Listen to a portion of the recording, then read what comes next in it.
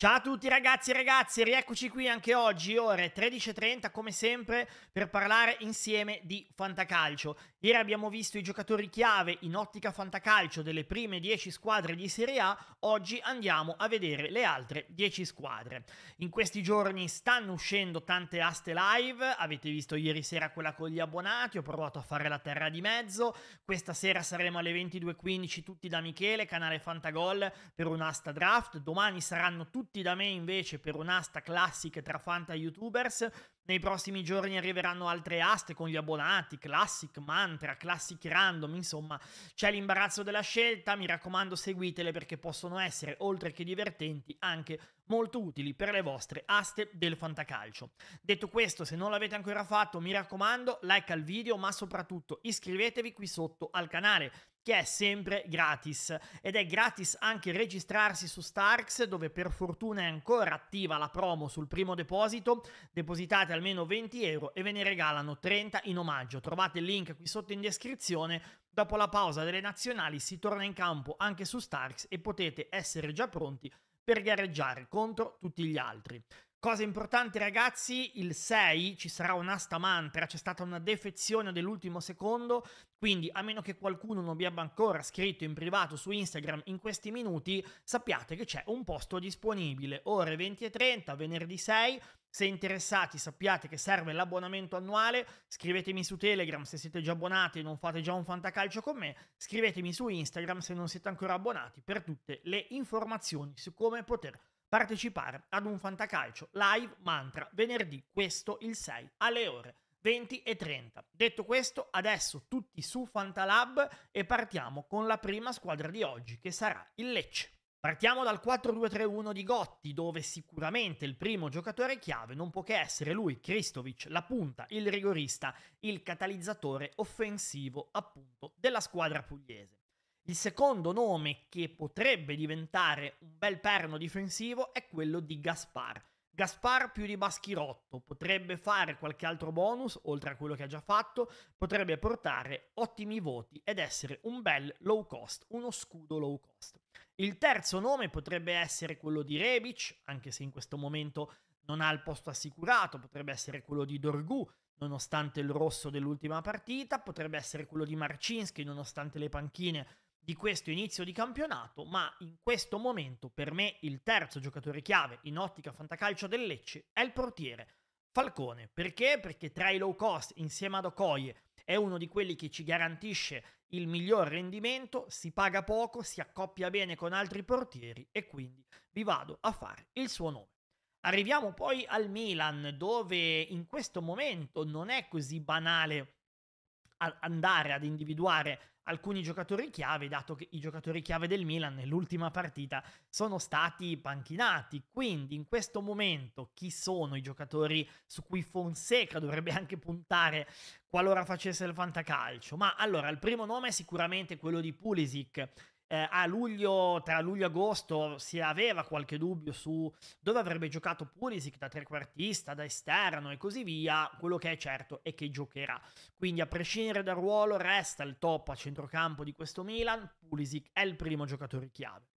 Il secondo giocatore chiave è sicuramente Morata, che in questo momento abbiamo visto ancora poco, ma che comunque sarà, non dico il catalizzatore di bonus, ma sicuramente il regista offensivo attorno al quale tutto girerà. Quindi doppia cifra per lui, secondo me abbastanza garantita, ma anche diversi assist. Quindi non possiamo che andare a eh, selezionare lui. Sul terzo nome se ne possono fare in sostanza due, Leao Teo Hernandez, qui poco importa farne tre o quattro. Teo sicuramente in chiave mod e in chiave soprattutto bonus lì dietro può essere il bug di quest'anno perché qualche rigore lo potrebbe anche calciare e Rafa Leao con tutti i problemi, con tutti i dubbi, le discussioni intorno a lui, è comunque un giocatore che l'anno scorso in una stagione travagliata ha fatto 9 gol e 9 assist e anche quest'anno dove viene criticato, discontinuo, eccetera, eccetera, ha già fatto un gol e un assist. Quindi Rafa Leao e Teo diciamo che sono il terzo e il quarto giocatore chiave, dopo Pulisic e Alvaro Morata. Occhio alla crescita di Pavlovic che potrebbe in tante aste superare anche Tomori. Arriviamo poi al Monza, dove sicuramente il primo giocatore chiave non può che essere lui, l'underdog per eccellenza di quest'anno, Maldini. Ha iniziato bene, come da copione, è arrivato anche il gol, si compra ancora in alcune aste a un prezzo umano, 4-5%, assolutamente giocatore importantissimo in ottica fantacalcio. Il secondo nome è ovviamente quello di Pessina, capitano e rigorista della squadra, forse più utile in un mantra che in un classic per eh, la sua M che può spostare gli equilibri, ma sicuramente è uno dei pochi nomi che qui ci va a portare dei bonus rispetto a giocatori che sono un po' più regolaristi e di rendimento. Sul terzo nome qualche dubbio ce l'ho perché in difesa non vedo nomi garanzie, il portiere non mi convince particolarmente, uh, si potrebbe fare il nome di Diuric, si potrebbe fare il nome di Caprari, però io dico che un Kyriakopoulos low cost, che sia un classic, che sia un mantra, potrebbe essere un bel nome su cui puntare. Non mi aspetto una stagione clamorosa, ma qualche assist e perché no, magari un paio di gol, quello sì. È già arrivato un assist l'ultima giornata, quindi andiamo a puntare su di lui, ovviamente da ultimi slot. Arriviamo poi al Napoli e qui ragazzi andare a fare solamente tre nomi è difficile, quindi io qui mi prendo una piccola licenza come ho fatto per il Milan e vado a farne quattro perché almeno un nome in difesa lo voglio fare. Si potrebbe fare il nome di Di Lorenzo, però il gol che ha fatto un paio di giornate fa ne ha alzato ulteriormente il prezzo, anche se c'era un po' di scetticismo su di lui dopo la prima giornata. Eh, gioca da braccetto, gioca da esterno, non è ancora chiarissimo in questo momento. E allora il primo nome che vi faccio è ovviamente quello di Buongiorno. Vero scudo da modificatore, vera garanzia lì dietro. Se avete il modo dinamico e volete puntare su un centrale che non sia Bremer, assolutamente buongiorno. È il primo nome. Il secondo nome potrebbe essere McTominay, ma è un giocatore almeno nel nostro campionato ancora da scoprire e allora faccio quello di Neresh che sarà più un assist man che eh, un uomo da gol ma che ha già fatto due assist in due partite. Ipotizzare per lui una doppia cifra in chiave assist non è assolutamente. E poi ragazzi il terzo e il quarto sono ovviamente loro due, Kvicia Kvaratskhelia e Romelo Lukaku. Lukaku dovrebbe essere il rigorista, anche studiando qualche frame dopo il rigore, poi ehm, tolto al Napoli contro il Parma, quindi mi aspetto un Lukaku rigorista, Kvara farà una stagione credo da doppia doppia, quindi assolutamente i tre davanti più buongiorno. Dietro, occhio però a McTominay.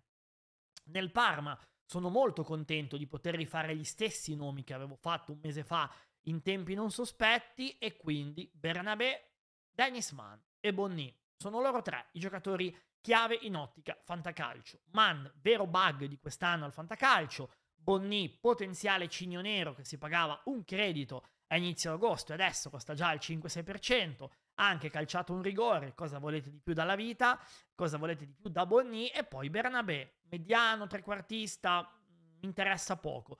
Bernabé sta già prendendo un sacco di voti positivi, io credo che con l'innesto poi di Keita lì in mediana qualche volta lo possiamo anche vedere più avanzato, è un giocatore che ci garantisce un ottimo rendimento, perfetto per le control, eh, qualche bonus lo farà, Bernabé, Man, Bonni, i tre nomi che aveva puntato sulla famosa, non so se ve la ricordate, sul famoso diario di quest'estate, tre nomi che andiamo a riconfermare in toto. Detto questo, ovviamente anche Circati, anche Del Prato, anche Valeri, anche Koulibaly sono tutti nomi molto interessanti in chiave low cost, ma i tre giocatori chiave sono quelli lì. Arriviamo poi alla Roma, dove andare a individuare tre giocatori chiave è tutt'altro che scontato. In questo momento comunque dico che Pellegrini a centrocampo è un giocatore chiave, dico che Dybala, nonostante la panchina dell'ultima giornata, è un giocatore chiave tra Sule e Dovbik in questo momento dico un po' di più Dovbik, perché Sule potrebbe strada facendo diventare anche a volte un'alternativa di Bala. Quindi Dovbik, Pellegrini, Di Bala, menzione d'onore per Sule, occhio a sviare anche qua perché in chiave mod può essere assolutamente un bel nome su cui puntare. Non mi stupirei se strada facendo diventasse calcisticamente molto importante Conè in questa Roma e se lì sulla destra, anziché vedere Selic, vedremo il nuovo arrivato Abdullah Hamid, ma non si sta parlando ovviamente di giocatori chiave. È arrivato anche Hermoso, occhio al ballottaggio con Dica, però Dica ha fatto molto bene con la Juve. Arriviamo poi al Toro, dove purtroppo non c'è più Bellanova e quindi i miei tre giocatori chiave in questo momento sono ovviamente Duvan Zapata lì davanti, Saul Coco in difesa, sul terzo nome qualche dubbio si potrebbe avere tra Adams, tra Sosa, ma io in questo preciso momento faccio il nome di Ilic, che tra i centrocampisti in casa Torino, al di là di Vlasic, vedremo quando torna, dove e se giocherà, può essere Ilic il nome con più propensione all'inserimento. E infatti un gol è già arrivato. Arriviamo poi all'Udinese, squadra tutta da scoprire in alcuni interpreti, soprattutto anche sugli esterni. Detto questo, Biol è il primo nome chiave lì dietro, in chiave modificatore. Il secondo nome è quello di Lucca, perno offensivo lì davanti che potrebbe anche sfiorare la doppia cifra quest'anno. Sul terzo nome qualcuno potrebbe fare il nome di Toven, qualcuno potrebbe fare il nome di Brenner, eh, qualcuno potrebbe credere in un Lovrich o un, un, un Kellenkamp, ok? Eh, personalmente in questo momento dico Toven per i rigori, ma attenzione a Brenner perché è una bella scommessa, si paga pochissimo da ultimi slot potrebbe veramente essere molto interessante. Toven però con i rigori in questo momento si prende il, lo slot del terzo nome. Arriviamo al Venezia, qui c'è poco da dire, Busio che qua nel campetto non c'è ma che tornando dall'infortunio per me sarà sicuramente un titolare in questo Venezia, poi Ampalo, rigorista, riferimento offensivo lì davanti, sul terzo nome vi do così un paio di indizi. Il primo è quello di Oristanio, anche se non è partito benissimo. Il terzo è quello di Itzes, che lì dietro potrebbe diventare una piacevole scoperta in chiave modificatore. Arriviamo poi al Verona, dove è tutt'altro che scontato andare a individuare tre giocatori chiave. In questo momento, però, il mio primo nome è quello eh, di Suslov, che comunque resta un giocatore di qualità in una rosa che non ha tantissima qualità. Il secondo nome è quello di Ciacciua, che eh, nel bene e nel male è un giocatore che sposta in questo Verona, nel bene perché farà secondo me diversi bonus, nel male perché difensivamente a volte fa delle cose abbastanza inguardabili, come ad esempio il rigore contro la Juve. Sul terzo nome c'è qualche dubbio, perché qui il campetto ci dice Moschera, ma in questo momento io più che dirvi Moschera, più che dirvi Livramento, più che dirvi Arrui o Lazovic, vado su Tankstead, che mi sembra forse il più avanti a livello di titolarità, che mi sembra quello che possa anche battere qualche calcio di rigore. Però Moschera Tankstead è secondo me un ballottaggio che ci porteremo dietro per tante partite. Ragazzi, questi erano i giocatori chiave delle altre 10 squadre di Serie A. Come sempre, come ieri, fatemi sapere la vostra qui sotto nei commenti. Siete d'accordo? Non siete d'accordo? Avreste cambiato qualche nome? Io vi saluto, vi ringrazio. Vi ricordo ovviamente che ci saranno altre live in questi giorni di valutazione rosa, valutazione scambi. Seguitemi sempre su Instagram, attivate le notifiche qui su YouTube per non perdervi nulla. Io vi saluto, vi ringrazio, mi raccomando like, iscrivetevi al canale. Se qualcuno vuole fare il mantra del 6 settembre, aspetto vostre candidature. Occhio perché poi a settembre potrebbe arrivare anche un'asta speciale a 12, misto a chiamata, misto a random, poi vi dirò tutto nei prossimi giorni. Grazie mille, ciao a tutti e alla prossima. Ciao!